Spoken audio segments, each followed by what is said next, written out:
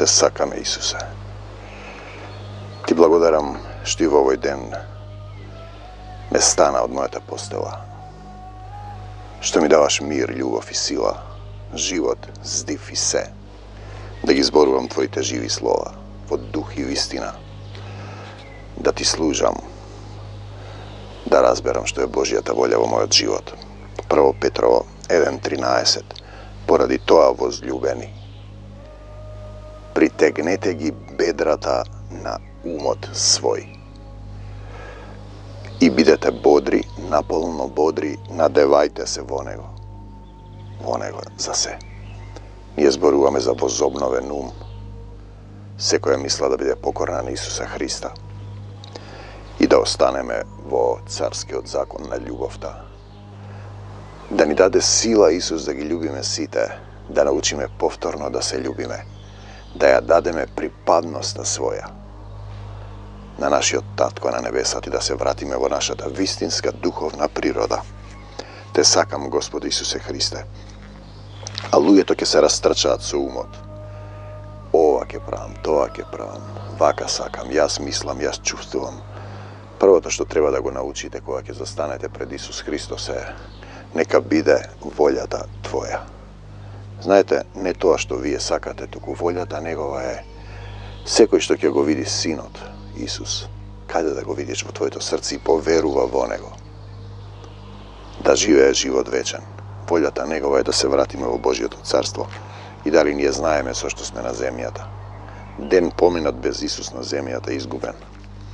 Ке дојде ден кога ќе застанете пред Него. И тогаш ќе се види дали имате љубов. Синоќ имавме средба која траеше повеќе од два и пол часа. И се излева милоста и благоста и мирот Исусов и исцелување. Со една мала група сотрудници. Не плаши се мало стадо. И имаше една жена со оштетен слух. Ме- Ме праша каде оди душата, каде оди телото, знаете, и наеднаш кога треба да му објасниш на човекот е потешко, ние не разбираме, ние не сме телесна природа, ние сме духовна природа, татко на духовите. Ние сме паднати на земјата и сега сме материализирани во тело, со паднатата материја, која е оттргната. Земјата е падната за да падне сатанат и неговите демони. Знаете, ние зборуваме за непослушност кон Бог, да го оставиме телесниот човек, кој се е во телото ке пожне смрт, и да го земеме да се развиваме во духовниот човек, тоа подразбира да го притегнеме бедрата на својот ум, Исус да не води. Исус да не води. И ете сме Матеј 20 и седмата глава на излегување сред на еден киринеец по име Симон. Симоне, овде сум Исуса. Него го натераа да му го носи крстот Исусов, значи го носат Исус на Голгота да го расмат. Фарисеите, писмознанците, садукеите, првосвештениците, библиските школи, тие што го познава писмото, дојде кај своите и своите не го примија, затоа што писмото го читаат со тело, телесниот човек не го разбира духовното. И кога дојдоа на местото наречено Голгота, што значи черепница, му дадоа да пие оцет измешан со жолчка. Знаете, оцет измешан со тоа е нешто кога ќе скисне, ќе се расипе. Ти си им дал добро вино, Исус водата нивна, водата која им беше потребна. На свадбата ја претвори во вино кога треба да се соединат со него и виното им скисна. Зошто? Па затоа што несоодветно се однесуваат кон љубовта. Значи тоа е символ на нешто што е скиснато. Лицемерно братолюбие. нељубов, себе себеправедност, но тој вкуси и не сакаше да пие. А штом го распна, ги разделија, а лиштата негови фрлајки ждрепка. Ете, човекот сака да разграби пари, се опрашани да подели, да земе некоја корист да има. Се врзува за материјалното. Сребролюбие. Па седеа таму и го чуваа. И му кладоа над главата надпис со вината негова, овој е Исус, царот јудејски. Ако го видите овој стих, тој на вистина е цар на царевите. Јас велам цар на македонците, бидејќи не запишал во светото писмо, а денеска не негираат нашите постмакедонски идентитети соседите. И блудницата вавилонска, европејска. Знаете, царот јудејски, тоа е неговата вина. Што таткото слезе да се распне за своите деца, дојде кај своите и своите не го познаат, не сакаат да знаат за мене. Знаете, овој е Исус царот јудејски, а јас велам Исус е царот македонски. Тогаш распнаа со него и двајца разбойници, едниот од десната страна, другиот од левата. Те во другите евангелија, едниот од разбойниците се покајува, а во Матеј не. Зошто? Што сака да ни покаже тој? Па дека ова се приказни кои треба да не научат на одреден приказ, дека ова е приказна на еден начин и на друг, кога разбойниците не се покаја и кога едниот разбойник се покаја. Да ти ја покаже причината и последицата. А минувачите вртејки ги главите своји, го хулеа и велеа, го распнаа со разбойници. Исус немаше грев. Во него пребива Отецот Небесен со сета негова полнота во дух. Тоа е крајната точка на Евангелието е спасение на душите и ние да пребиваме така. Односно Духот на нашиот Отец да не преплави и ние да ги врземе бедрата на својот ум, да го имаме Христовиот возобновен ум, секоја мисла да е покорна на Исус. И велеа, ти што го уриваш храмот и за три дни го содзидуваш, спаси се себе си, ако си син Божии, симни се од крстот. Така напаѓа сатаната така напаѓа сатаната. Ако си син Божи направи ако си под прашање ги доведува состојбите. Ние вераме кој верува колку си напово зрно. Колку е таа вера? Па малку да му препуштиш се, да речеш, ете, се му предавам на Исус, што сака нека биде. Исус ме љуби, тој знае што е најдобро за мене, бедрата на својот ум да ги притегнеш. А не да размислуваш што ќе биде. За три дни го созидуваш, спаси се себе си, ако си син Божи, симни се од крстот. Знаете, исто така, еве ги главните, првосвештениците, книжниците, старешините, фарисеите, подсмевајки се говореа. Тие што се представуваат дека се представници на Таткото Небесен и на Исус и на Аврам, го распнаа Исус и му се подсмеваат. Па состојбата е слична и денеска, знаете. Само треба да го помолите Исус да ви ги отвори очите. Други спасуваше, а себе си не може да се спаси.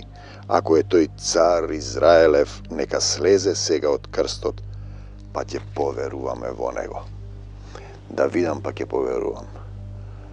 Кој има вера колку си напаво зрно и каже на оваа планина, стани и фрли се во морето. Таа ќе стане и ќе се фрли во морето. Дали ние имаме вера во Исус? Дали имаме доверба ако некој дојде со пиштолот или со меч да ти одсече главата, ти спуштиш само гардот и кажеш Исусе, те сакам и го благословуваш. Дали имаме вера? Добро прашање се надеваше на Бога, на Отецот, нека го избави сега, ако е по волјата Негова, бидејќи говореше Син Божји сум. Ете така размислуваат телесните, сатанската природа. Така размислува, а, вака ти кога ми рече, јас кога ти рекол, бедрата на својот ум треба да ги притегнеш и наполно да се надеваш на Исус. Наполно. Така и разбойниците распнати со него го исмејува. Во другите евангелии еден од разбойниците се покаја, овде го исмејуваат. Тој само ви покажува состојби како постапуваш на еден начин и на друг начин. Тој покажува дека ова се приказни ако ги читаш без дух и не можеш да ги разбереш. Читаш, чекајте, зошто тогаш вака и така, и никој не се занимава со тоа. И тие фаќаат здраво за готово. Ке земат некој стих и ке направат доктрина од него. А од шестиот час, например, баптизо, да се потопуваш во вода. Сув грешник влегува, мокар грешник излегува. Битно е дали ти во своето срце, дали во своето срце си му го предал на Исус, си му го отстапил целото срце, да направи сокровиште со Таткото небесе. На во честиот час настана темнина по целата земја до деветиот час. Околу деветиот час извика Исус со силен глас и рече Или, Или, лима савахтани, а тоа значи Боже мој, зошто ме остави? Тоа е единствен момент каде Исус провикнува од себе си или, или Отецот го вели сам за себе. Боже мој, зошто ме остави? Татко мој. Тоа е повикот, повикот на секого од нас. Кога ќе дојдеш во состојбата да бидеш распнат, кога ќе паднеш болен, кога ќе ти биде тешко, Тоа е тој повик што е потребен. Затоа е запишан овде. Татко мој, зошто ме остави? Зошто ме остави? Пазете, а некој од оние што стоеа таму, кога го чуа тоа, рекоа, овој го вика Илија. И ние го имаме Илија. Илија го најавува второто пришествие, на Јован му вела, тој е Илија, кој треба да дојде. Не е случајно што македонците го слават Илија. Тоа е еден народ покрај израелците, кој Господ го возлюбил и му дал одредена улога. Но ние сме непослушни како израелците. Израелците го распна Исус. Ние си тераме самите со себе, си се славиме сами себе. Си се тажиме, Боже мој, зошто ме остави кога ќе дојдеш до мигот да разбереш дека немаш сила, дека сам си, дека си предаден, дека умираш, дека паѓаш во бездна. Тоа е тоа што треба да се каже и тоа ќе го кажеш. Боже мој, зошто ме остави? И веднаш еден од нив отрча зеде сунгер. Ете тие што прават лицемерно братолюбие, скиснато вино му дава. Лажна крв, затруена крв. Па му даваше да пие, другите пак велеа чекајте да видиме да видиме дали ќе дојде Илија да го спаси. А Исусот како повторно извика со силен глас. Рахмахасих тилахам го испушти духот. Ете, сега пишувам една книга јавно говорење, покрај ова што ја пишувам за Исус, уште една, значи две книги, Славата Исусе, тие слегуваат словата. Отецот Небесен пишува низ мене. И дојдов до Аристотел, повторно македонскиот царски лекар, кој во духовно провидение – кажал неколку работи кои се, например, Бог е самиот живот. И една од тие заменската форма на зборот, на зборот, на, на, на гласот на зборот е светлина. На стариот македонски јазик тој се вика дај духос, дај духос. На современиот грчки се вика пневнос, но тоа не е важно. Значи, давам дух и рече Бог, нека биде светлина и му дувна во душата дух животен. И сега ние го имаме тоа, го испушти духот, односно духот се враќа кај оној што го дал. Духот се враќа. Душата е од духот. Односно двете едно во друго. Слава ти Господи, ете се расцепи завесата на храмот на две. Значи нема повеќе храм. Од горе до долу земјата се затресе, карпи се распаднаа, гробови се отворија, и многу тела на упокоени свети и воскреснаа. Воскреснаа, преминаа од темнина во светлина, па кога излегоа од гробовите по воскресението негово, влегоа во светиот град, им се јавија на многумина. Кој е тој свет град? Слава ти Исусе. Дали тој зборува за духовно или за телесно? А стотникот и оние што со него го чува Исуса, откако го видоа сето тоа и земјотресот. Блажени се оние што не видоа поверуваа и се друго што стана се уплашија многу и говореа на вистина овој беше Синот Божји. Стотникот го знае тоа, а фарисеите, садукеите, писмознанците, првосвештениците, библиските школи, деноминациите, тие кои се представуваат дека се негови представници, а тој вели вистински негови представници, живи камења во Исусовата црква. Таму беа и гледа од далеку многу жени кои што врвеа по Исус од Галилеја и му служеа. Дали ние ќе седиме и ќе гледаме од далеку? Или ќе дојдеме близко на крстот, ќе се фатиме за нозете на Исус, ќе го земеме крстот како Симон Киринеецот. Те сакам, Господи Исусе Христе. Дали ние имаме вера, кога ќе дојде Синот човечки, дали ќе најде вера на земјата? И кога се стемни, дојде еден богат човек од Ариматеја по име Јосиф, кој му беше исто така ученик на, на Исус. Отиде кај Пилат и го побара телото Исусово.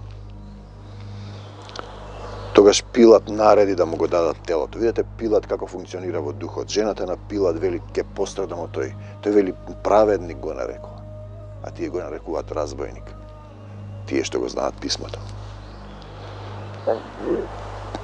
Јосиф што го зеде телото, го завитка во чисто платно, го положи во својот нов гроб што го беше излабил во камен, па откако постави голем камен над гробната врата си отиде. А таму беа Марија Магдалена и другата Марија кои седеа спроти гробот. Останаа две жени. Зошто тогаш не се дава на жена да подучува? М? Нема повеќе да има ни машко, ни женско, ни роб, ни слободен, ни македонец, ни арнаутин, сите сме едно во Исус. Ако си во Исус може, ако не си во Исус не може. Слава ти Господ Исусе Христе. Утредента пак во петокот се собраа првосвештениците и фарисеите кај Пилат. Ако си во Исус нема машко и женско. Сите сме едно. Едно. Еден дух напоени но ако не си во Исус, не.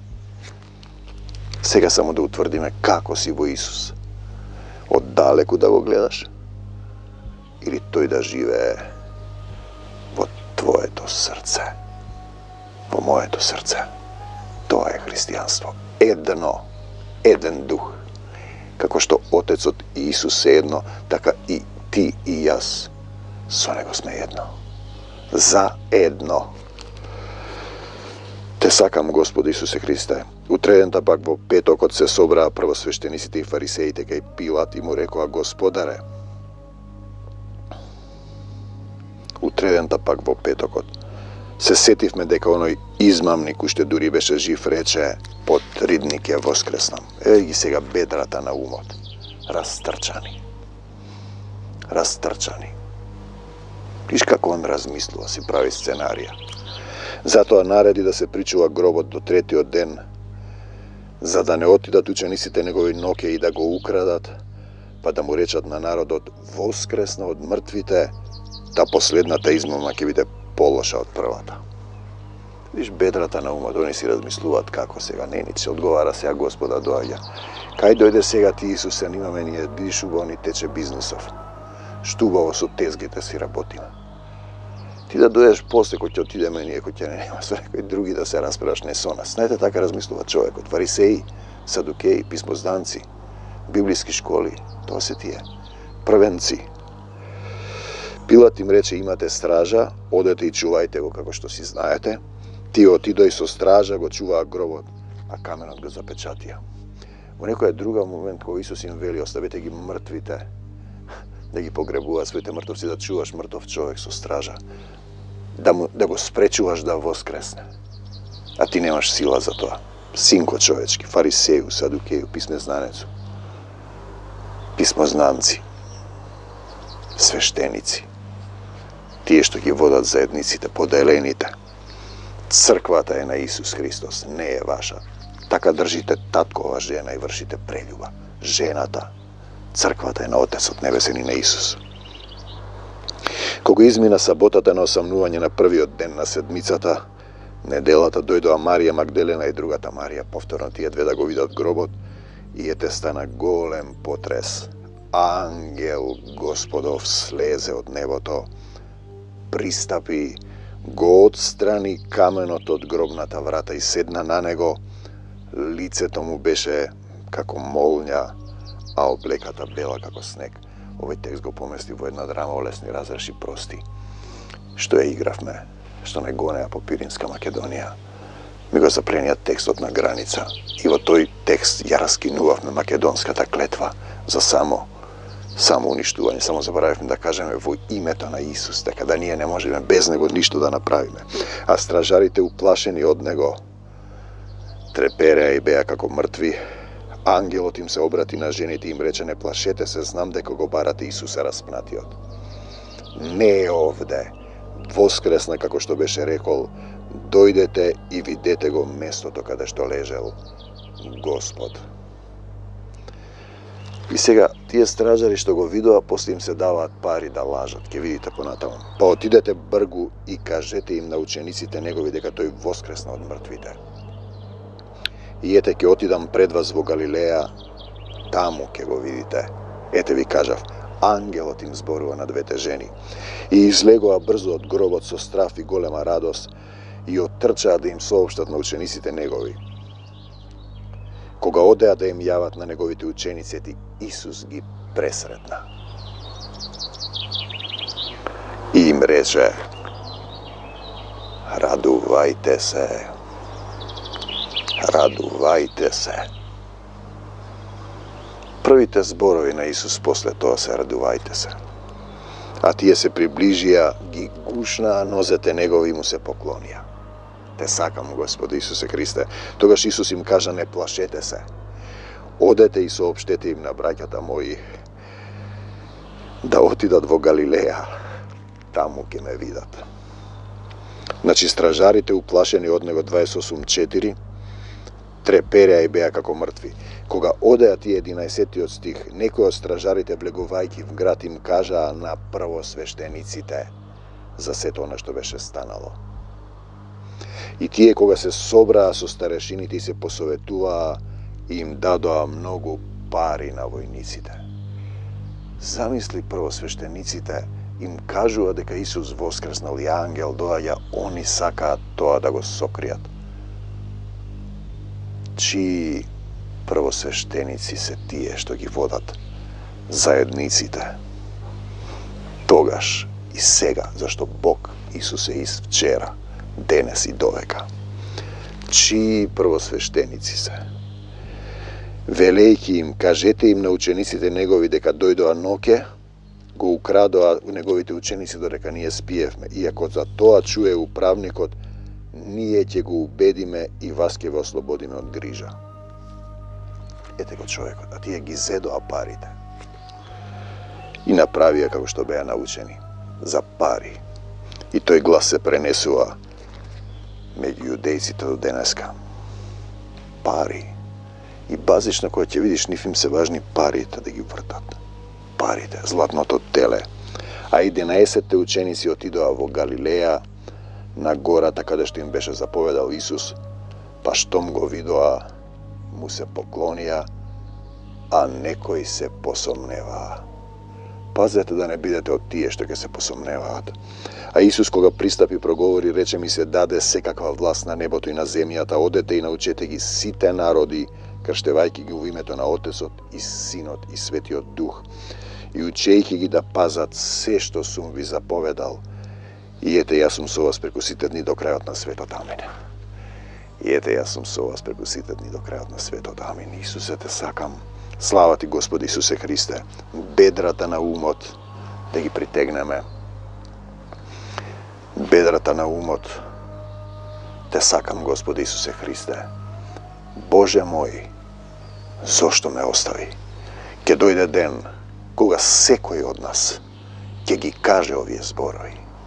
Боже, наместо тоа, можеш сега да речеш Исусе, дојди во моето срце. Дојди во моето срце и помогни ми и да почнеш да чекориш, да се усовршуваш во љубовта. Оти ќе дојде ден ќе бидеш распнат. од собствената нељубов, да ќе го разбереш тоа како слика или како состојба. И ќе викаш со силен глас, Боже, Боже мој, зошто ме остави? Мојот татко не остава никого. Тој е добриот пастир. Го испрати Исуса да оди за загубената овца додека не ја најде. А ти, дали сакаш да слушнеш за Исуса? Или ќе земеш пари и ќе лажеш дека го украдоа телото? Со бедрата на умот ќе вртиш лево и десно. Те сакам, Господи Исусе Христе. За секогаш Исус, за навек Исус, Исус напред ние по Него. Те чакам. те љубам, Господи Исусе Христе. Научи ме да се претопам во Твојата љубов. Од сега па довека. Далеку од очите Негови, во темнина, без сила, се додека не кажете благословен е оној кој доаѓа во името Исусово.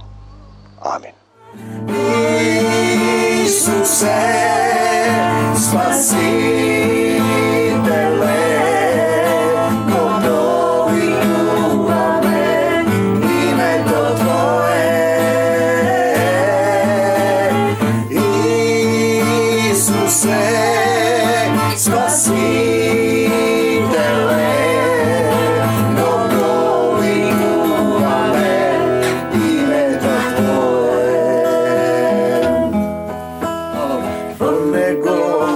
naše životo. Svetlina za luge to Svetlina ta.